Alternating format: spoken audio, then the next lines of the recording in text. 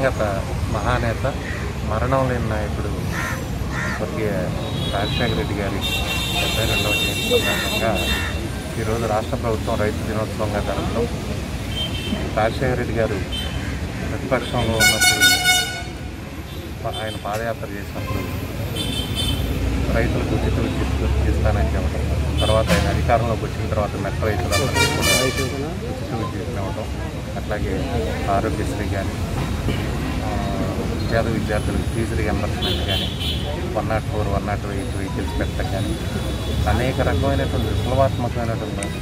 ముఖ్యమంత్రిగా రాజశేఖర రెడ్డి గారు అట్లాగే రైతులకు నీళ్ళు కావాలి. ఈ నీళ్ళ కోసం అనేక ప్రాజెక్టులను చేపట్టి రాజశేఖర రెడ్డి గారు రాష్ట్ర చరిత్రలో మహానాయకుడిగా ఉంటే ఈరోజు జగన్మోహన్ రెడ్డి గారు మరొక అడుగు ముందుకేసి రైతు భరోసా కేంద్రాలు పెట్టి విత్తనాలు కానీ ఎరువులు కానీ వాళ్ళకి కావాల్సినటువంటి సాంకేతిక పరిజ్ఞానం కానీ అందించేట్టు సుమారు పదివేల పైన రైతు భరోసా కేంద్రాలు రాష్ట్రం మొత్తం పెట్టడం జరిగింది. అట్లాగే ప్రతి రైతుకి కూడా కౌలు రైతులకి దేవాదాయ భూములు చేసే వాళ్ళకి ఎస్ఐన్ ల్యాండ్ చేసే రైతులకు కూడా సంవత్సరానికి పదమూడు వేల ఐదు వందల రూపాయలు పెట్టుబడి రైతు భరోసా కింద ఇవ్వడం జరుగుతూ ఉంది.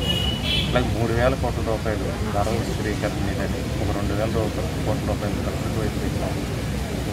నివారణ మీదని. అదేవిధంగా రైతులకి తొంభై వేల కోట్ల రూపాయల బ్యాంకులు డబ్బులు ఇస్తే వీళ్ళల్లో ఏ రైతులైతే కరెక్ట్గా ఇన్ టైం కడతారో వాళ్ళందరికీ కూడా వడ్డీ రాష్ట్ర ప్రభుత్వం భరించే లెక్కన జగన్మోహన్ రెడ్డి గారు నిర్ణయం తీసుకోవడం గత ప్రభుత్వం బకాయిలన్నింటినీ కూడా ఈ రోజున చెల్లించడం ఈ రకంగా వ్యవసాయానికి రాజశేఖర రెడ్డి గారు ఆ రోజు ఎంతో ప్రయారిటీ ఇస్తే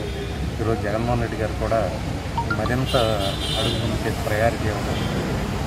చాలా సంతోషంగా ఉంది. అంటే ఎన్నికలకు ముందు అనేక వాగ్దానాలు అనేక రాజకీయ పార్టీలు అనేక మేనిఫెస్టోలు చూశారు కానీ ఇంత ఖచ్చితంగా ఉన్న ప్రభుత్వాన్ని ఇప్పుడే చూస్తూ ఉన్నాం. కేవలం సంవత్సరం కాలంలో మేనిఫెస్టోని అమలు చేసి ప్రభుత్వం అట్లాగే రైతు దినోత్సవం సందర్భంగా మహానాయకుడు రాజశేఖర రెడ్డి గారిని కూడా ఒకసారి